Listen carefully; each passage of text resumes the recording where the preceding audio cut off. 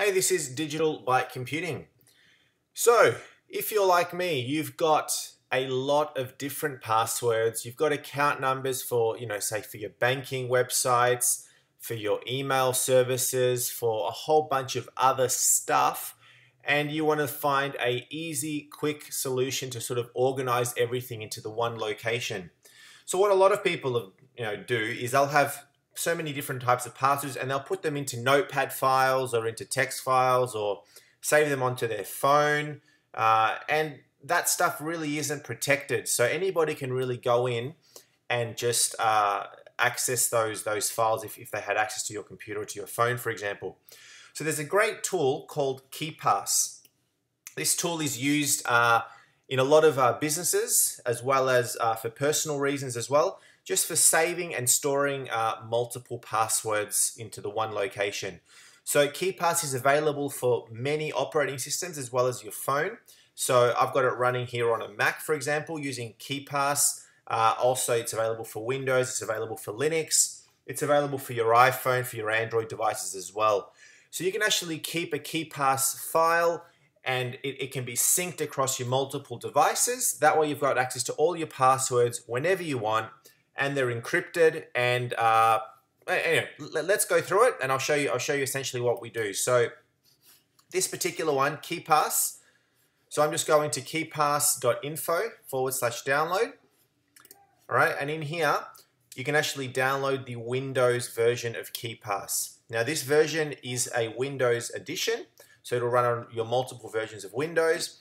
And there's also an equivalent version called KeePass X, which can run uh, on your Mac. So in this case, we're going to look at it on my Mac, but the version for Windows is pretty much the same. So I've gone and downloaded it, and I've got it here in my dock. So let's just go ahead and open KeePass X.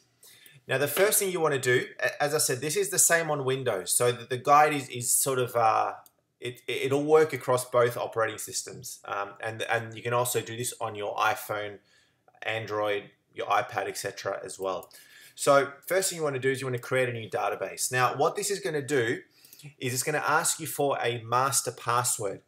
So you want to make this password extremely complicated because what will happen is when you enter this master password into KeePass, you'll get access to all of your other passwords. Okay, so let's just make it uh, whatever. Okay, you've also got this thing called a key file. This is essentially like an encrypted file that you can actually create. So I can create a new key file and this key file, I can save it somewhere on my computer and it essentially creates a two level uh, authentication levels, right? So, so two form authentication. So you've also, so you, you don't only need the password to access the KeePass file, but you also need the key file to access the KeePass file right? Which is a very, very handy, handy tool to have as well. So go ahead and create a password and a key file if you want. You can do just a key file, you can do both, or you can do just a password. So we're just gonna leave it for password for now. You can then go ahead and actually see what my password is. Nice and simple, I've made it. In your case, you wanna make it extremely complicated. The more complicated it is, the harder it's gonna be to get access. So we're gonna say okay to that. Now we just presented with a root screen here and I can start creating new KeePass entries. So I can create a file, I can say, uh, let's say Bank of the World, right? The username is uh, my bank, that's the user I'm going to be using, and then the password is whatever, okay? And then you want to repeat it. So you can see what the password is here. You've also got this great generate tool so you can actually generate a complicated password as well if you want to use a complicated password. You can specify the length, etc. So this way you don't have to remember all of your passwords, which is a great thing. Uh, you know, so many people have got so many passwords and you can lose track of what is what. So generate a password, you can save it into here. You can put the URL, www.worldbankoftheworld.com whatever. All right. You put an expiration date. You can put some other notes. This is a good password, etc. You can then add other attributes if you want to. You can change the icon. So this is a, a website, for example. and OK. Now that has now saved it into the root. I've now got my Bank of the World in here. I can then create another one. Uh, my Gmail password, my Gmail. We'll just leave it as that. Uh, hello there is my username at gmail.com. My password, again, whatever I want it to be. URL is www.gmail.com. And OK. And that has now entered a second one here. So again, I can double click on it. I can change my icon. This is now, what's this? This looks like a mail. I don't know, it could be mail related, I'm not sure. Let's use this one, that's a nice mail one. And that is now saved it.